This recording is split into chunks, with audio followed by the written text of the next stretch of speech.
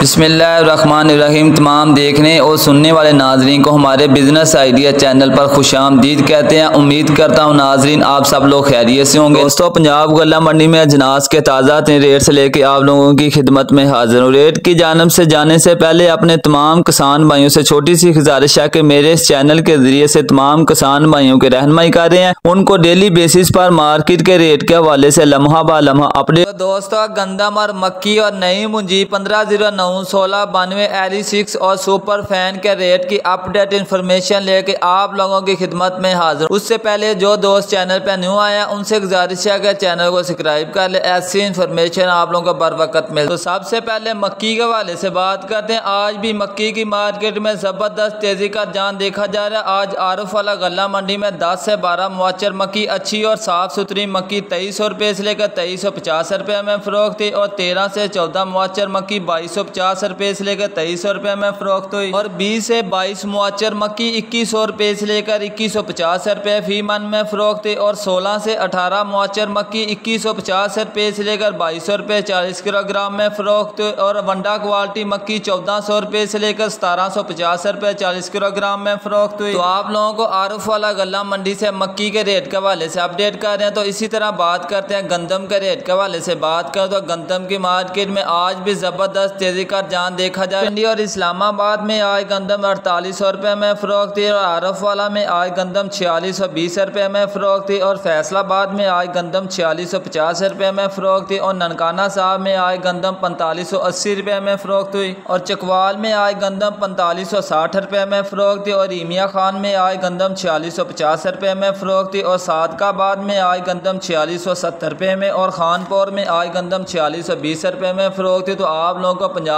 के मुख्तलि शहरों से गंदम के रेट के हवाले से अपडेट कर रहे हैं। तो अब बात करते हैं नई मुंजी के हवाले से। बात को तो नई मुंजी की मार्केट में भी ज़बरदस्त तेज़ी का जान देखा जा रहा है। आज पंजाब में मंडियों के अंदर ईरी फाइन चौंतीस सौ रुपये से लेकर सैंतीस सौ रुपये में फ़रोख थी और पंद्रह सिफर नौ और सोलह बानवे की बात करें वो छत्तीस सौ रुपये से लेकर पैंतालीस सौ रुपये फ़ी मन में फ़रोख्त हुई। तो नाजिन ये थी मुंजी और गंदम और मक्की के हवाले से। अब तक की ताज़ा तीन अपडेट, इन्फॉर्मेशन, वीडियो पसंद आई और दोस्तों के साथ शेयर करो, साथ ही हमारे चैनल को सब्सक्राइब कर लें।